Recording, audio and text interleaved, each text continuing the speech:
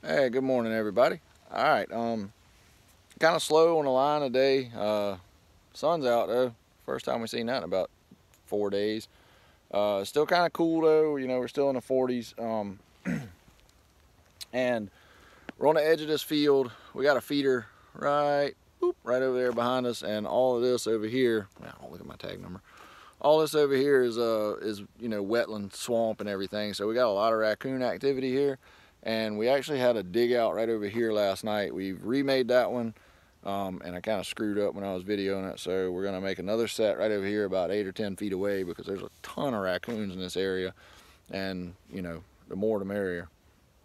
So anyway I'm gonna make a step down set here and gonna try to uh, video that and talk you guys through it as, as best as possible. So anyway, uh, stick around I hope you enjoy the video. All right, so first thing on uh, on my step down sets is uh, my hole. And normally with my bait holes, um, I tend to kind of angle them back a little bit uh, to make the animal want to stand a little further back on the set to look and work down it. But with a step down, I angle it not quite straight down, but you know, like a 22 and a half degree angle. You got, you know, 90, 45, and then somewhere right in here is my step down. So we're gonna go ahead and punch that in now.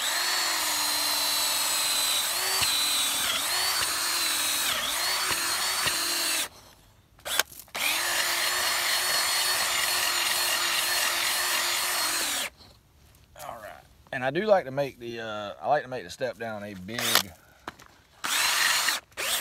a big uh, big obvious hole. Um, I don't I don't like just the auger size hole that you get uh, making a dirt hole set. So that's it there. That's the that's the hole that I put in. I mean you see it's you know big enough to fit your fist in. Back on the stand here. All right. Okay. Got my stake Okay, so next your hammer or trowel or shovel or whatever it is you carry with you. Uh, this dirt, man, is so nice to trap in because it's, it's just loose. You can grab and dig with your hand. Anyway, come back from the mouth of that hole and just create like a a little step. I mean, uh, just a little a little depression down in there. And kind of round it up and make it somewhat natural looking, as natural as you can make something like this. All right, so let's take a look at that. Okay, so here's the beginning of it. And, you know, we're down, we're down two and a half to three inches uh, below the normal surface level here. And then next we're gonna bed a bed the trap in. So let's get on to that.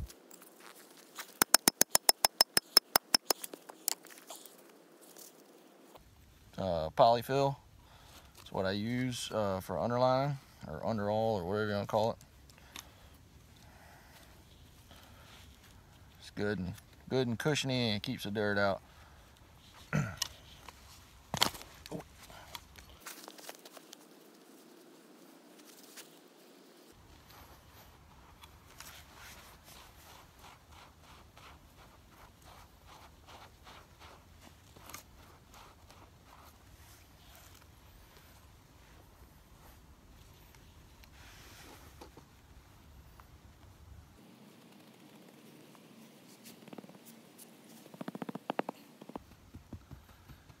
And guys, I'm here to tell you, with raccoons and red fox especially, with anything, with anything, any animal, any trap you set, that bed better be tight. That trap better not be able to move and shift in the ground at all. If it does, you need to stop, start over, or fix it.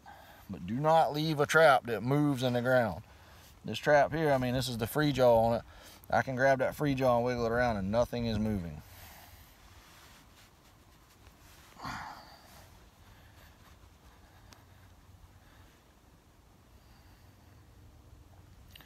And don't be afraid to get your fingers down here by your trap. I mean, this is a Bridger 175, and with these gloves on, it it doesn't even really sting if you if you get popped by it. You know, it's like sticking your finger in a mouse trap. Really, is about the equivalent of it.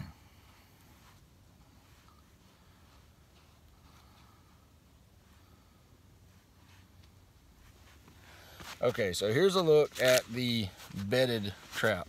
But here's my bedded trap. And I can touch anywhere. Anywhere on this trap. And that sucker does not move. It is solid. So anywhere an animal steps down here, he's going to feel like natural ground to him.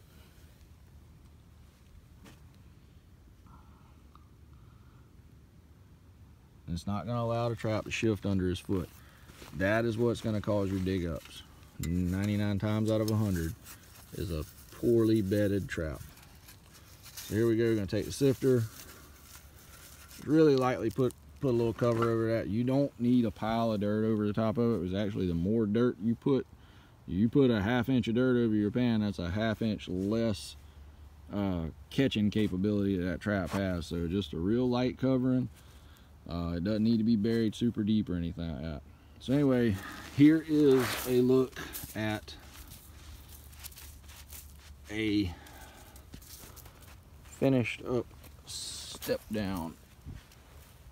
All right, so you can see you can see the depression here. I mean, like I say, we're two to three inches deep, probably two inches deeper than the uh, ground level once we bed it and sift it and everything like that. Big big obvious hole there in the ground and uh, I'm sorry for the lighting like I say the sun's come out and it's casting some nasty shadows on us but what this causes uh, what this causes an animal to do is when he comes up to this set and he starts working the set and he's working out here on all this high stuff that you've you know piled up it looks like something's been digging out at the hole and it's just got dirt piled up on it.